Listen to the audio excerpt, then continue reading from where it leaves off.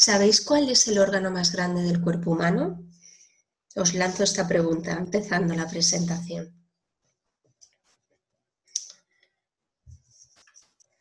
Pues no os lo vais a creer, pero es la piel. La piel, las funciones de la piel son varias, entre ellas, bueno, la primera es la, protección, eh, nos permite mantener la, temperatura, la termorregulación, es, una barrera de defensa inmunitaria,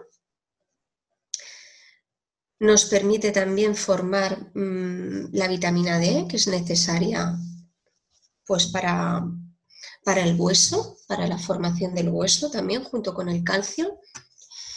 Y luego forma parte pues, de, la percepción sensorial que tenemos nosotros con respecto a, nuestro ambiente. El feto, desde, desde, muy temprano, desde muy temprana eh, eh, etapas de formación, es capaz de percibir sensaciones táctiles desde el exterior y sobre todo reaccionar cuando la madre o el padre acaricia o presiona el abdomen. Es el primer sentido que se pone en funcionamiento. Es la primera señal de sensibilidad que tiene. Es el primer lenguaje. Aparece en torno a las siete semanas en el útero, imaginaros, muy pronto, en una zona muy concreta, como es alrededor de la boca. Ahí es donde empieza a tener la primera sensibilidad. En la onceava semana de embarazo, las plantas de los pies y los genitales muestran una gran sensibilidad. A la doce semanas se amplía a toda la superficie del cuerpo, salvo la coronilla y la espalda. Y hacia la mitad del embarazo, que son 20 semanas, toda la piel y mucosas del feto reaccionan ante la estimulación táctil.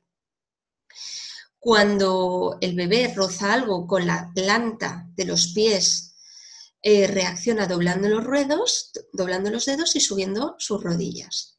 A partir del sexto séptimo mes, si se toca la cara con las manos, abre la boca y se chupa el dedo. Lo habréis visto en muchas ecografías que se está chupando el dedo.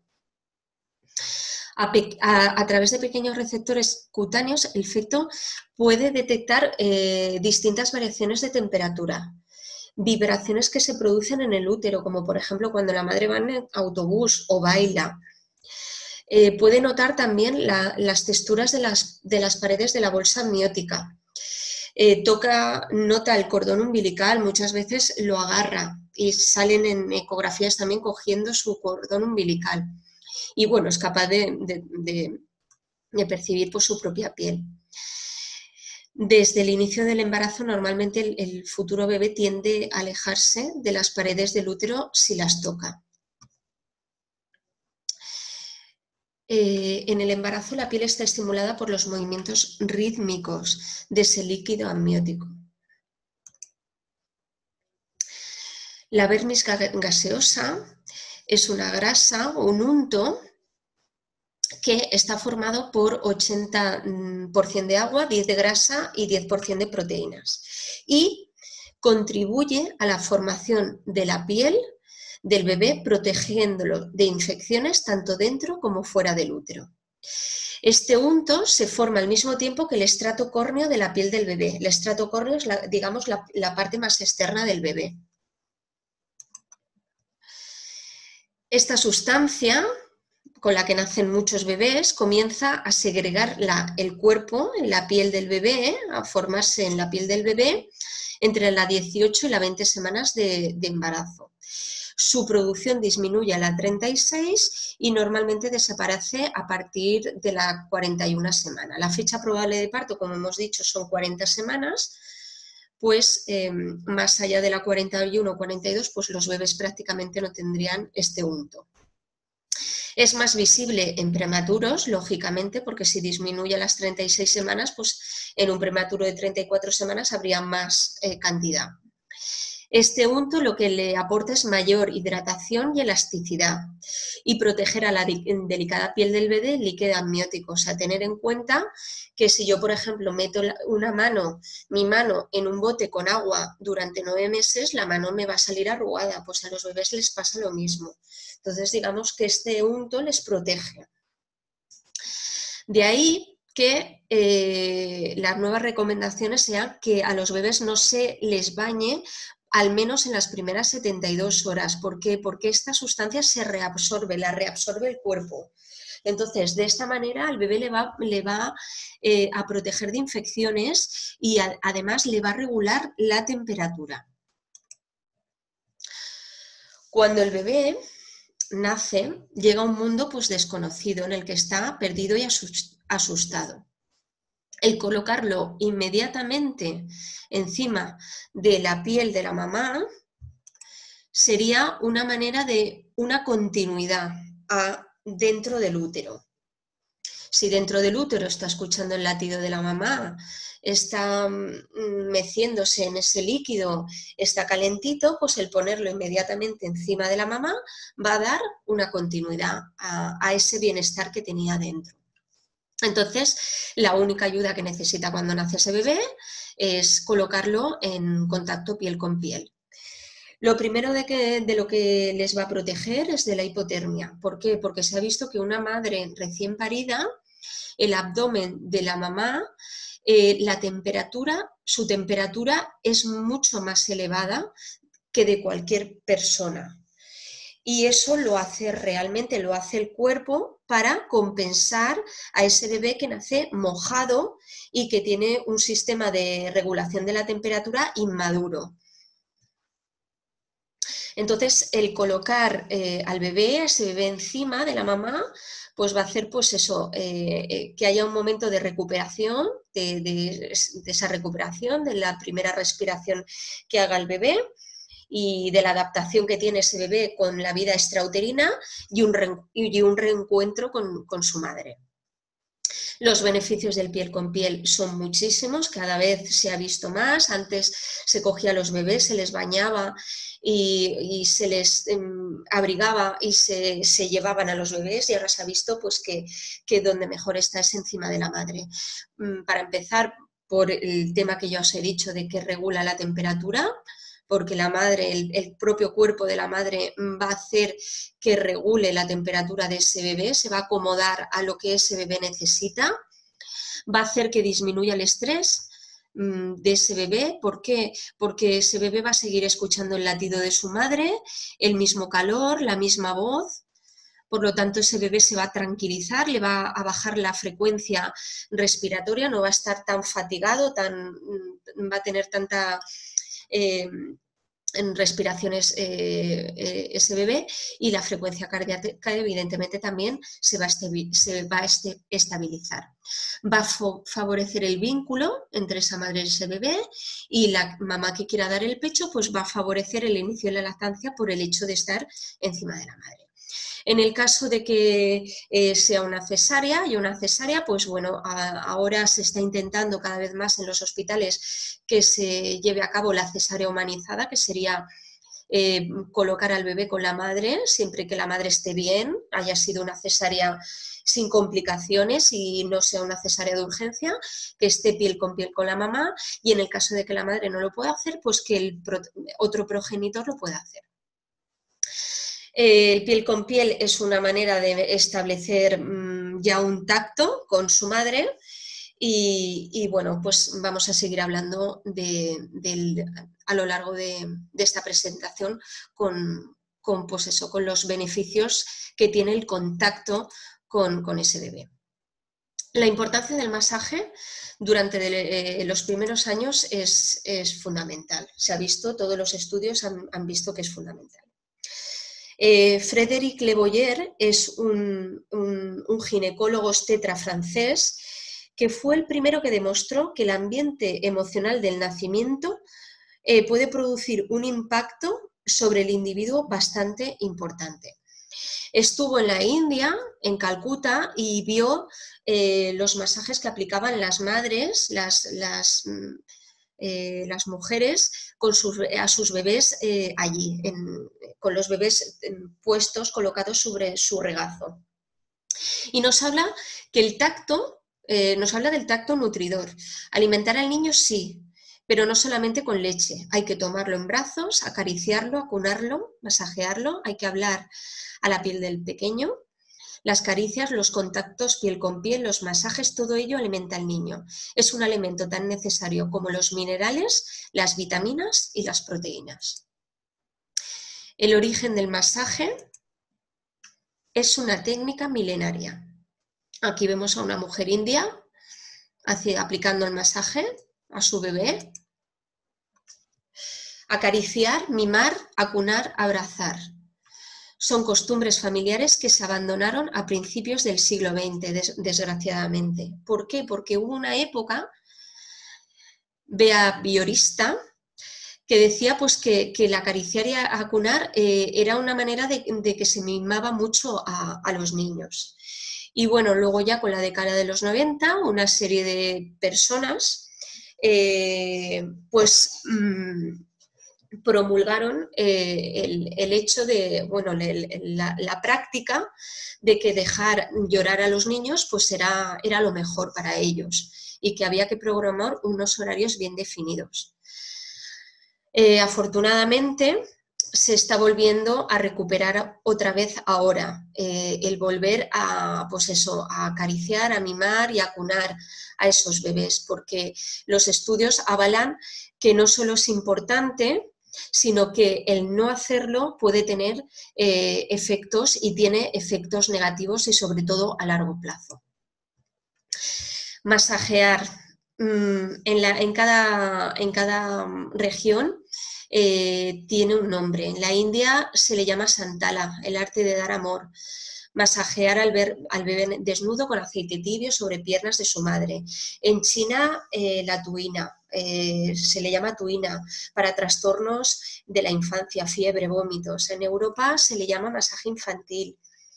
En los animales eh, masajean con el acto de lamer. Los orígenes del masaje infantil. Bimala, Bimala Schneider fue la primera, la, bueno, la pionera en traernos eh, esa práctica aquí a Europa. Trabajó en la India durante muchos años en un, orfanato y allí pues pudo ver cómo las madres eh, daban masajes a sus bebés. Fue la primera que escribió un libro de masaje infantil enseñando las técnicas y, trajo eh, pues todas esas técnicas a, Europa y a muchísimos países. Eh, creó, bueno, es una de las educadoras de preparación al parto que le, los educadores de preparación al parto le pidieron un programa de masaje infantil, fundó la Asociación Internacional de Masaje y bueno, pues hoy en día cuenta con, más de eh, un montón de centros que imparten em, estas técnicas. Posteriormente colaboró en la India, en el Hospital Santa Teresa, eh, actualmente vive en Estados Unidos y sigue eh, colaborando mm, sobre los beneficios del masaje. Entonces, digamos que es la precursora del masaje infantil en el mundo. Y luego, como curiosidad, eh, fue la primera en, en, recomendar el masaje infantil, sobre todo en bebés mm, mm, prematuros. O sea, si de normal es importante aplicar masaje a los bebés, pues en los bebés prematuros mucho más. Eh, pues nos hablaba de los cuidados eh, de los recién nacidos a través del tacto y también nos dice eh, que el, tacto es una necesidad humana básica. Hay varios tipos de mamíferos. Los de madriguera, donde la leche de la madre tiene alto contenido en grasa. La función de que tengan contenido en grasa alto es que esa grasa les dure mucho tiempo. Les dure mucho tiempo para que esta madre pueda dejarlos dormiditos y saciados e irse a, traer, a, traer, sustento, a comer y dejar a sus, sus cachorros eh, tranquilos durante largos periodos de tiempo, que estén en silencio para que no vengan los depredadores y los descubran y eh, pues eso, son, son crías que maman con gran velocidad y solo orinan cuando les estimula la madre. Y esto, este tipo, eh, eh, de, pues, les proporciona un mecanismo de control de, de, temperatura. Y luego hay otro tipo de mamíferos que son los de acarreo, que somos pues nosotros. Nuestra, la leche en general tiene bajo contenido en grasas, Los bebés maman, ¿vale? Bueno, bebés maman más despacio eh, y con más frecuencia. Orinan, por lo tanto, con más frecuencia.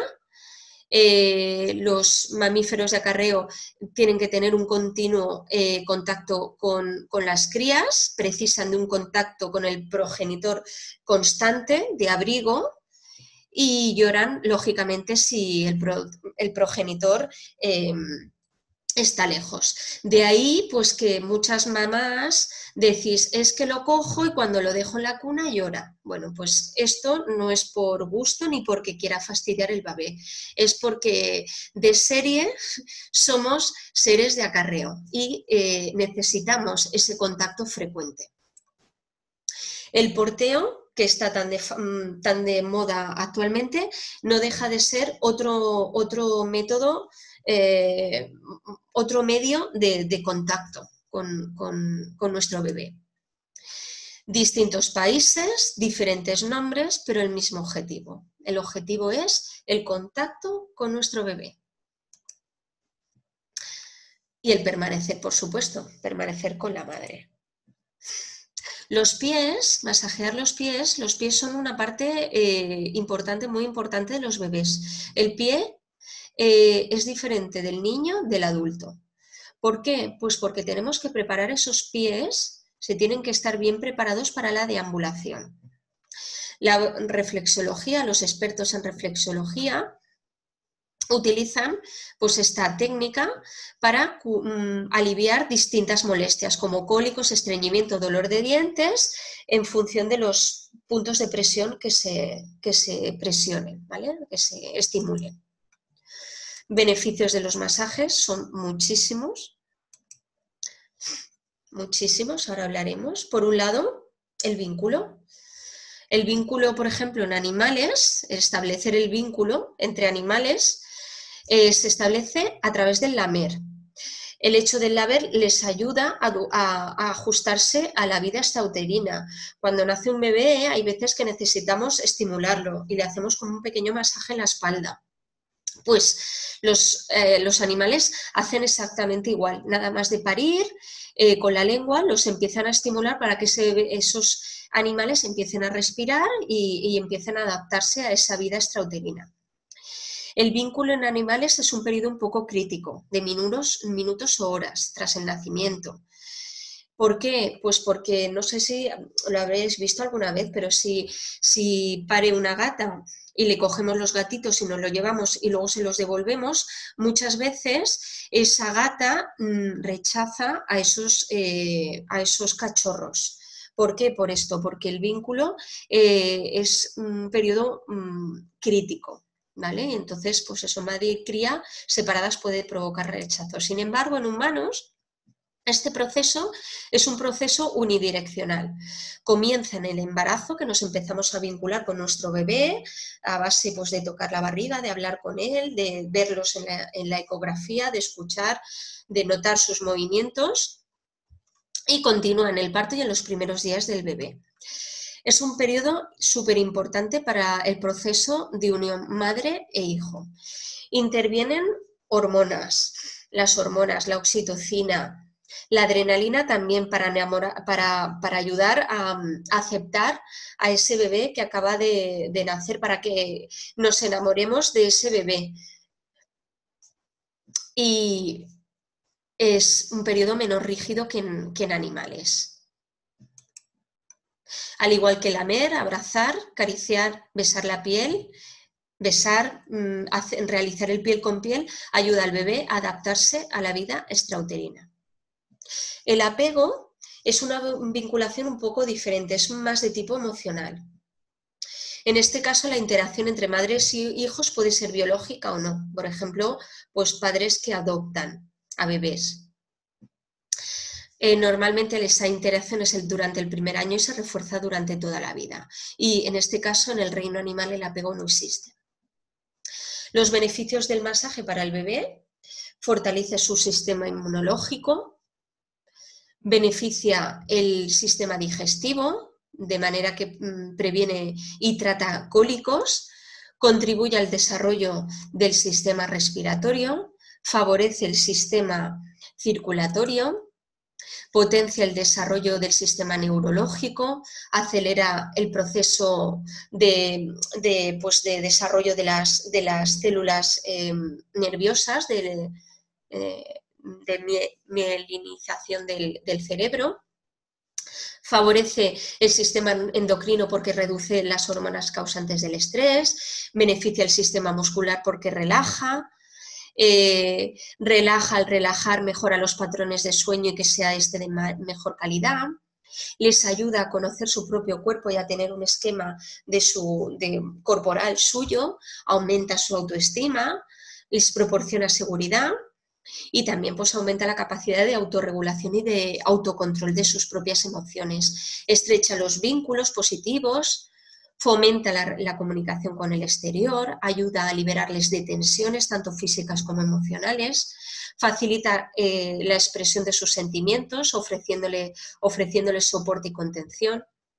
Para quien da el masaje, pues también tiene muchos beneficios, como eh, formar parte de la comunicación con el bebé, detectar y responder a mensajes no verbales del bebé también, por, las expresiones o los movimientos que tiene el bebé podemos detectar qué es lo que necesita, qué nos está demandando, fomenta la interacción entre padres e hijos, refuerza el instinto, la intuición, eh, pues lo que os decía, los movimientos que puede tener el bebé, otorga autoconfianza, eleva su autoestima, concede un valioso tiempo centrado en los hijos, compensa muchas veces la ausencia de los padres, ¿vale? Pues si, eh, hemos estado una temporada que no podemos ver a nuestros bebés porque hemos estado de viaje, por trabajo, cualquier cosa, pues la vuelta, eso les puede compensar, les eh, le ayuda a relajar a los padres también, representa un espacio de tiempo y de diversión eh, con nuestros hijos positivos, incrementa nuestras habilidades en el manejo con ellos y favorece los lazos familiares y el vínculo. Está demostrado que los bebés que reciben masajes regularmente son más atentos y curiosos, desarrollan eh, más células cerebrales, por lo tanto, eh, eh, bueno, tienen mayor capacidad de resistencia al estrés, muestran mayor confianza en sí mismos, en el entorno, tienen una relación más íntima con sus padres, duermen mejor y por lo tanto regulan horarios. Las sociedades en que los niños son acariciados, cogidos en brazos, reciben mm, masajes habitualmente, a largo plazo se ha visto y está súper demostrado que los adultos tienen mayor estabilidad emocional y son cooperadores y seguros. Tipos de técnica de masaje. Tenemos dos. Bueno, en el vídeo que, que hay colgado del masaje, eh, bueno, pues eh, eh, explica, Fina explica em, cómo realizar los masajes. Yo aquí os hago, bueno, unas pequeñas pinceladas, pero todo está explicado en el, en el vídeo del masaje. La técnica hindú, la finalidad, hay dos técnicas, la hindú y la, y la sueca. Entonces, en la hindú la finalidad es la relajación. ¿vale? son diferentes movimientos que ayudan a vaciar al cuerpo, a liberarlo de tensiones, llevando la sangre del cuerpo del bebé hacia, la final, hacia el final de la extremidad.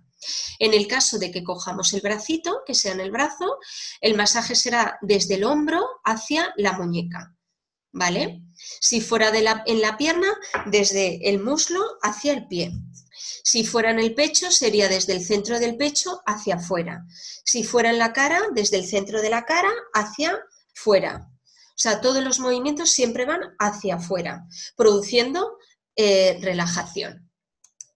Y luego tenemos la técnica sueca, que la finalidad es la estimulación y regular, o sea, favorecer el retorno venoso. Lo mismo, eh, la técnica sería desde el, eh, desde el pie, desde el tobillo hacia el muslo, desde la muñeca hacia el hombro. Y luego, pues todo, movimientos eh, al contrario, favoreciendo el movimiento de sangre, de la sangre del cuerpo. Y actúa de manera contraria la hindú. La idea es integrar ambos tipos de técnicas. Casos especiales los tienen los niños prematuros. En España cada año nacen unos 29.000 niños prematuros antes de la semana 37 y esto produce el 75% de ingresos hospitalarios. Ya en Europa son más de medio millón los que lo hacen anualmente. Uno de los riesgos del bebé prematuro es que no ha logrado desarrollar un sistema de regulación térmica.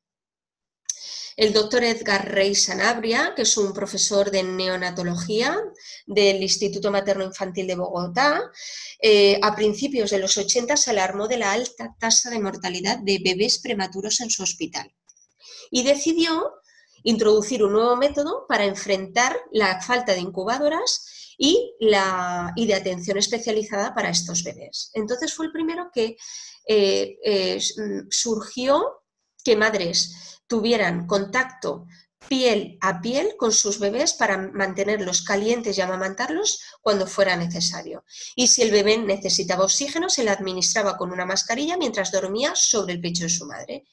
Y fue el primero que ideó el método que se llamaría método de madre canguro.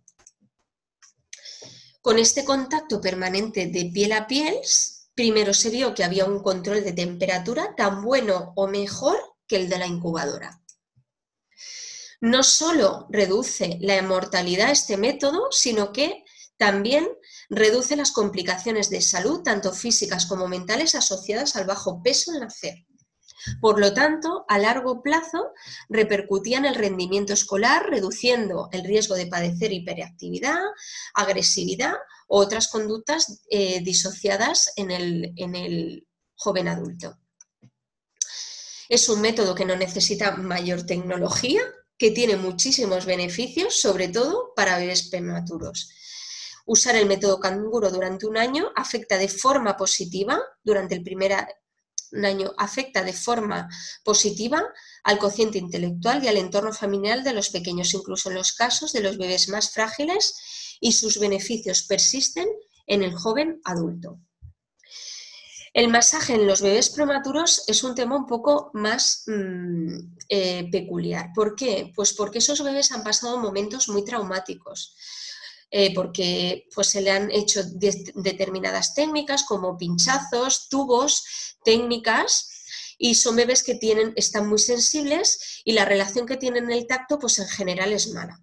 Además, los padres se asustan mucho con cualquier cosa, cualquier llanto que presenta el bebé, cualquier reacción, y están muy sensibles al llanto del bebé. Esos padres necesitan encontrar su papel de padres, pues porque no, no dejan de estar, mientras el bebé está ingresado, separados de esos bebés en, unos ciertos momentos. Necesitan sentir que son capaces de cuidar, de atenderlos emocionalmente y físicamente a su hijo como cualquier padre o madre. Y además necesitan sentir que su hijo también los necesita a ellos, igual que los aparatos o las técnicas que les han estado eh, realizando. En resumen, el masaje es una herramienta poderosa para los padres, para ayudar a su bebé a, mitigar el dolor eh, y el miedo, haciendo que asocie el tacto con el placer y no con el dolor.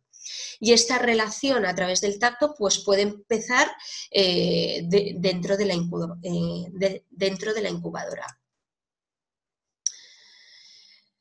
Para finalizar, pues os dejo esta frase el cuerpo humano de la madre es la mejor máquina jamás inventada.